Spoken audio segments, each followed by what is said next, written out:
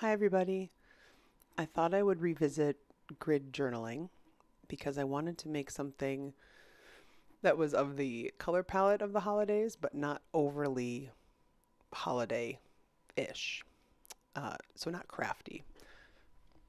In this case, I made my 18 squares by tracing over or tracing around um, a business card that I got from a different artist who's uh, makes some really cool watercolor sewing combination mixed media. Um, I'm using red and green today.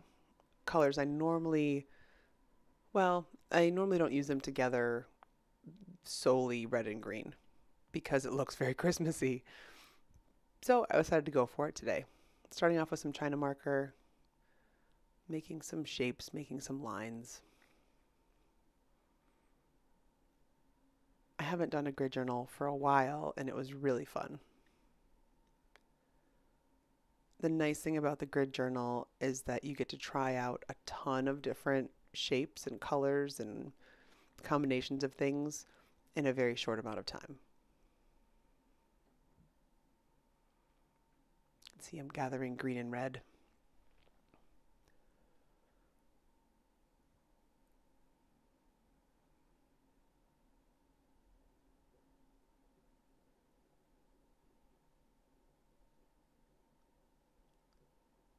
This is what I was trying to figure out what to do first. If I was going to start with paint or start with collage, I decided to start with collage.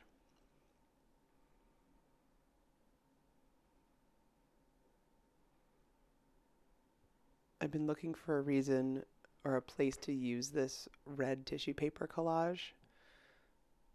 Um, collage paper, I should say. And I finally found it.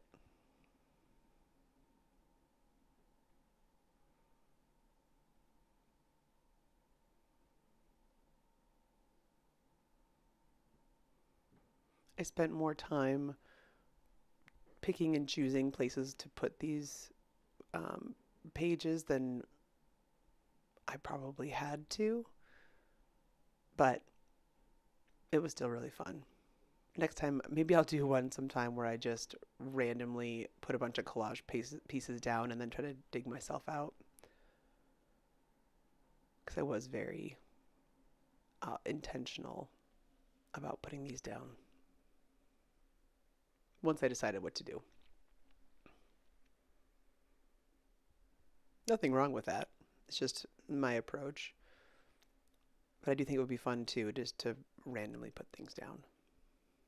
That's why I like doing those big pages that I cut up into small pieces.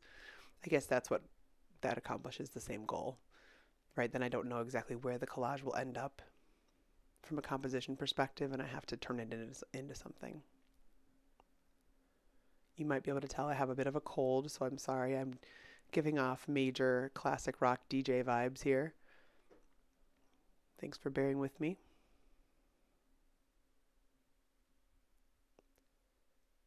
There's something about red, white, and black that makes me happy.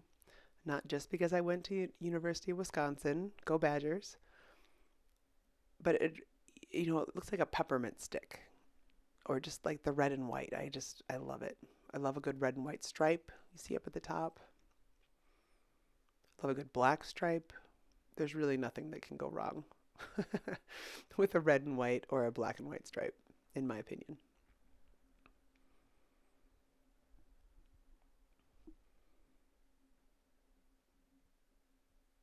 All right, cleaning up some of that, those scraps. Attempting to find some green. That very light green was a page from one of my kids' books that just totally fell apart. And these are some tea bags. This is my favorite afternoon tea. I think it's called Refresh Mint. It's a nice peppermint tea. The green felt a little overwhelming at first because it was so, you know, so red and green. It turned me off a little bit. I'm not gonna lie. So I started with the with the white and black parts of the tea bag, and then eased myself into the green.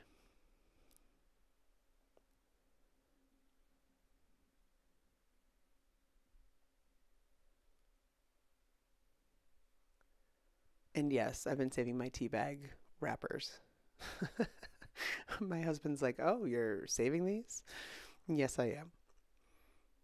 I'm still getting rid of my cough drop wrappers. At some point, I won't, and at some point, I'll do a video for you guys of full of cough drop wrappers. But alas, sticking with tea bags. Such a great color, and there's so much of it. And they're nice, absorbent, made of absorbent paper, so not too shiny.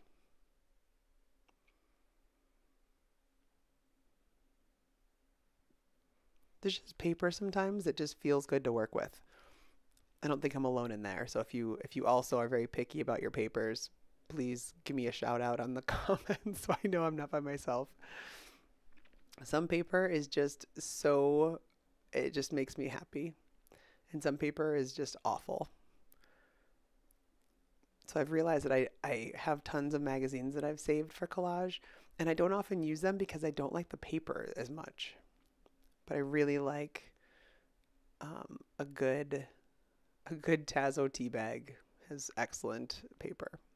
Tissue paper, brilliant. Um, what else is good? Paints, paint uh, swatch paper is pretty good too.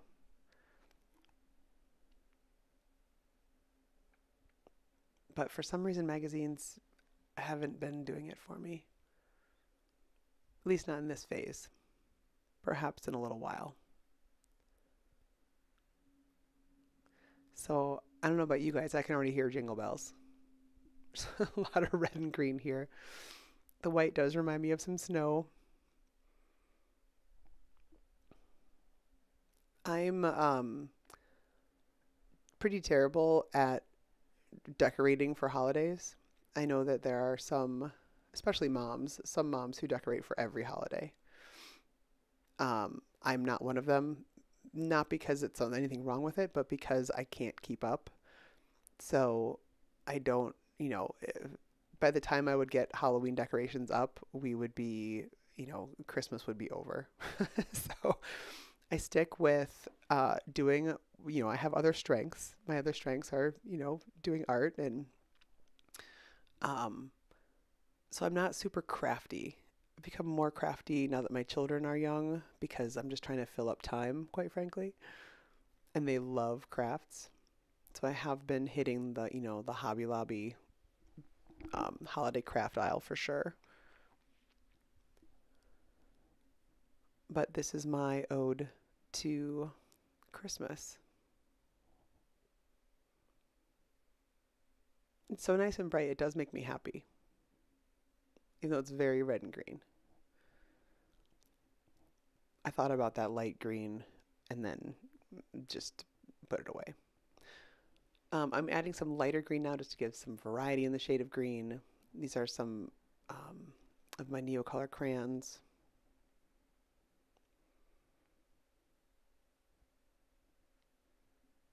I love mixing greens together. I just, I don't know. just makes things pop, in my opinion.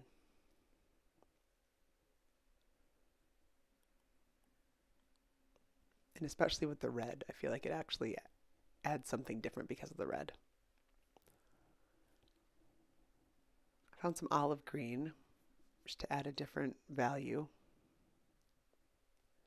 and cut some of the sweetness, just give it a little a little grit.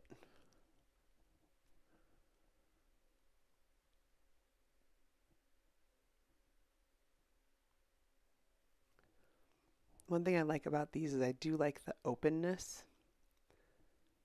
There's so much white space in them. I continue to fill up the white space, but I love how it feels right here.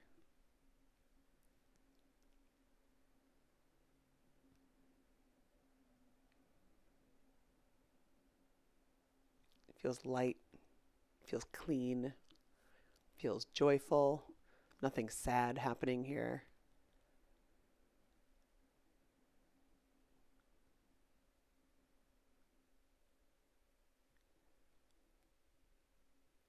the darker green that I added is water soluble, so I did go ahead and add some gloss medium to that just to try to set that color.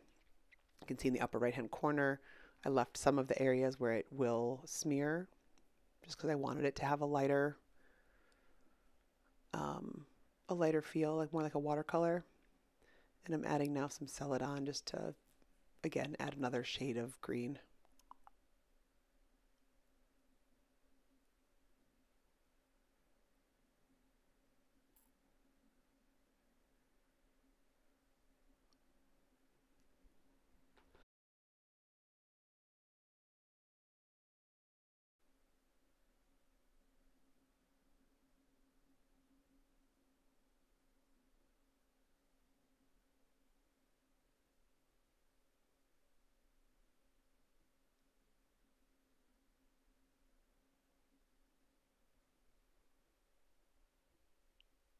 I didn't make a decision as to what compositions I wanted to work on in this grid. I was just doing whatever felt I felt like in each grid or each square. But a lot of them are starting to shape up like landscapes. Thought that was interesting.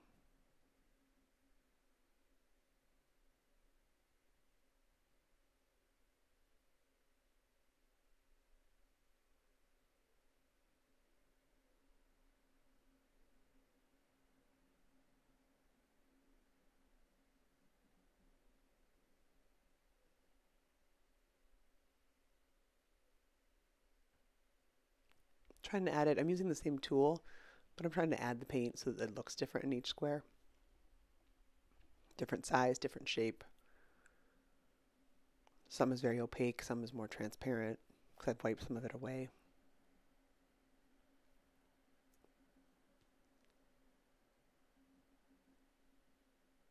Again, I'm looking for each square to be cohesive with the whole, you know, all 18 squares, but also um, have some contrasting elements as well. So they're cohesive, but they're different.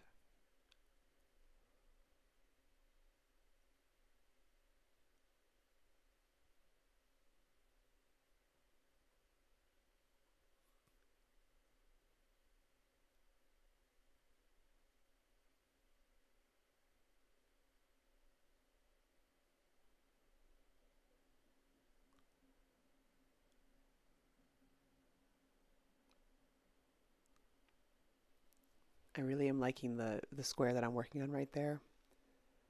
I feel like that one looks it feels very organic to me. And I really I just really like it.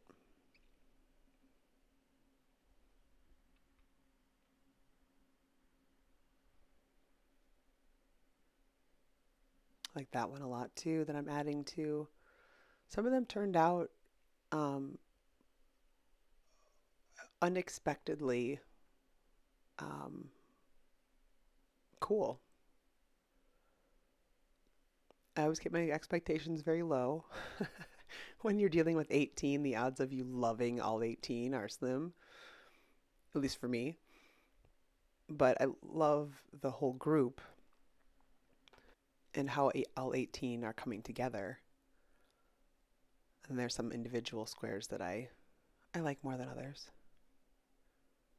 As long as they're not your children, you can have favorites.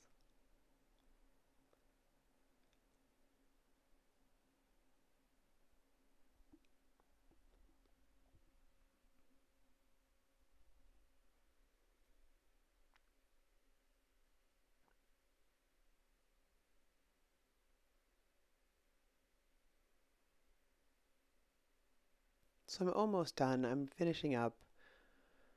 Adding some white back just to create some more depth in these squares. Push some things backwards.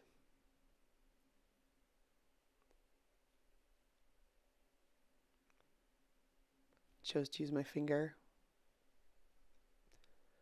Not sure why. just in that mood.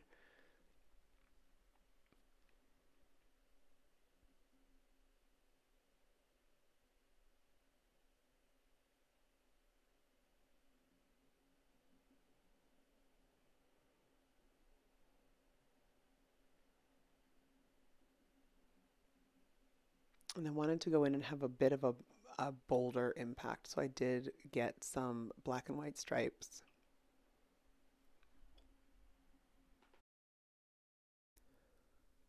So the stripes add a couple things. One, it bumps up the drama. And two, it kind of makes it feel more fun to me. So that's why I like to add them.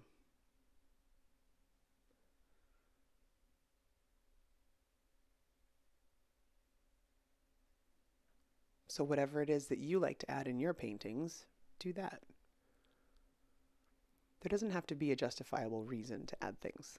That's one of my favorite parts about art. you can just add what you like because the whole thing is for you to make things that you like, not what someone else likes.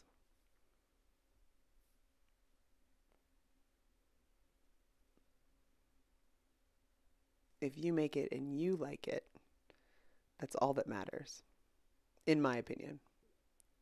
Might be harder to sell those if no one else likes them, but chances are, if you like it, people will like the work that you make because you're the only one who can make it.